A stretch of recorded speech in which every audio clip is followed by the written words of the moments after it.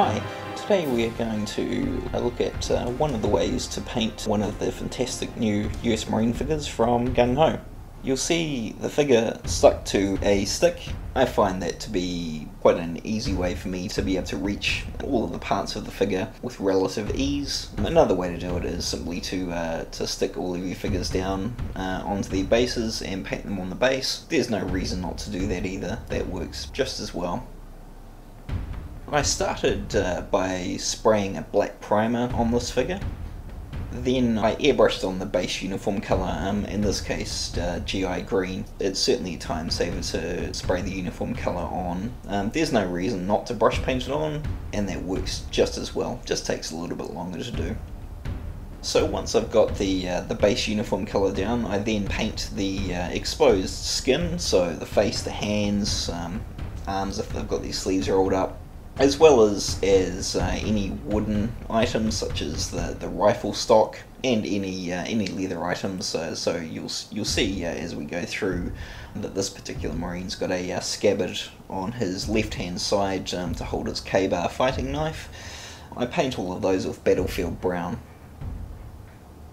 Once I've painted the uh, the skin, the leather, and, and the wood, I then uh, paint the base colour for the camouflage helmet cover, very distinctive with these Marines.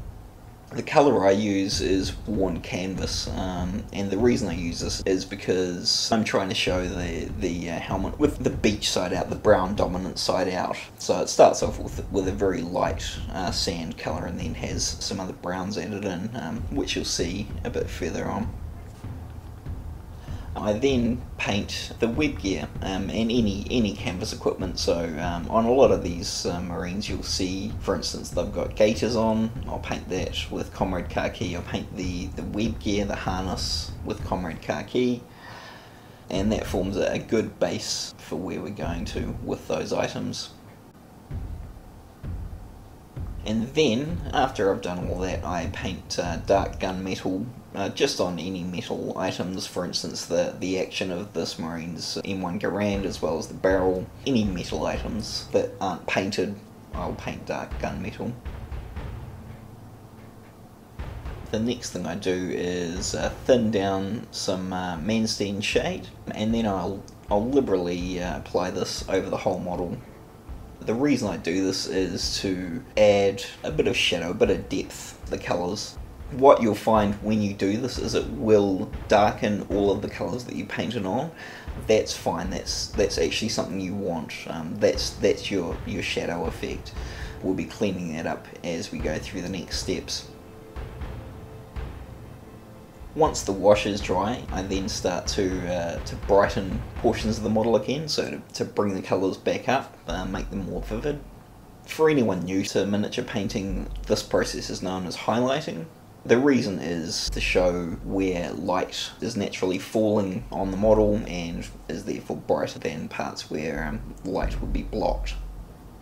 Uh, so the first thing that I like to do when I start highlighting is to highlight the flesh. Um, the reason for this is because the colours are generally quite light and if they spread a little bit onto the uniform it's okay, you'll, you'll end up painting over it.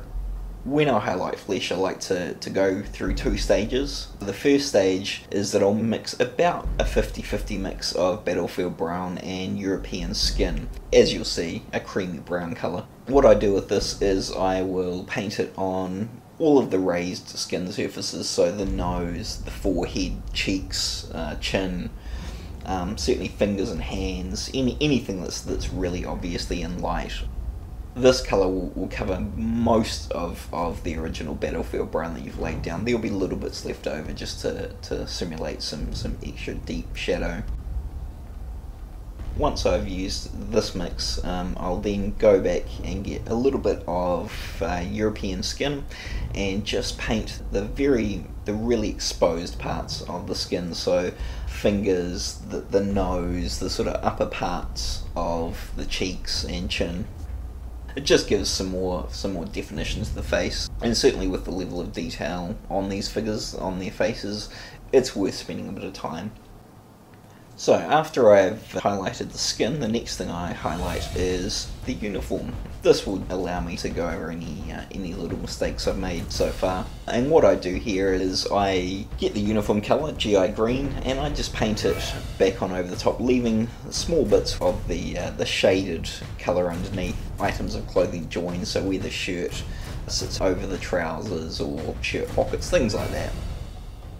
Another way you could do this instead of painting it on is to, to dry brush it on. This works just as well. The colour will be a little less distinct. I haven't done it here. If, uh, if you want to go a stage further, you could lighten the uniform colour a little bit again with a little bit of worn canvas, and then you just paint that on the very, very, very tips of, of places where the light is strongest, and it will give it a little bit more contrast to your figure.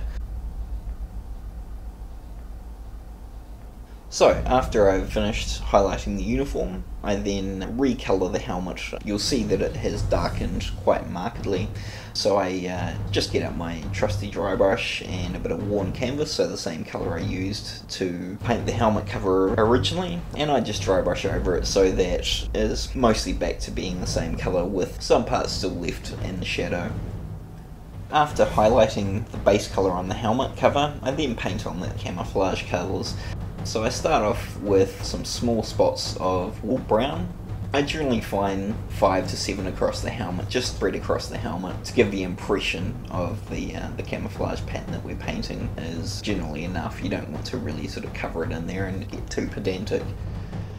Then I will um, do a similar number of fairly small spots of battle dress brown. Um, so this is a slightly greener, darker brown than the wool brown and again, five to seven spots is, is uh, enough.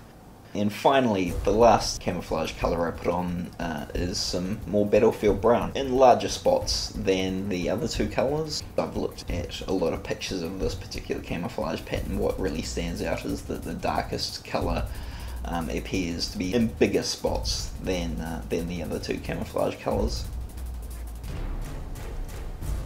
Once I've painted the camouflage on the helmet, I move on to the web gear and any other canvas. What I do with this is I get some military khaki, so a much lighter khaki colour than the Comrade khaki I used initially, and I just paint that on over the top, leaving a little bit of the original colour that's been darkened by the wash, just to simulate shadow.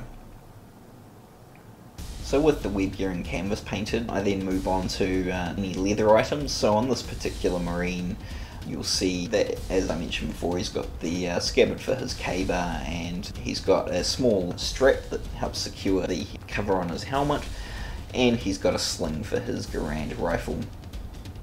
I just go over all of those items with a little bit of tan leather. It's a lighter brown. Again, like the gear, I try to leave um, a little bit of the underlying colour showing through on the sides, etc. Just again to, to add some shadow and shade. And there we have it, a marine painted. They're very fast to do, and you could easily knock out a couple of dozen of these in some fairly short time. Thank you for watching.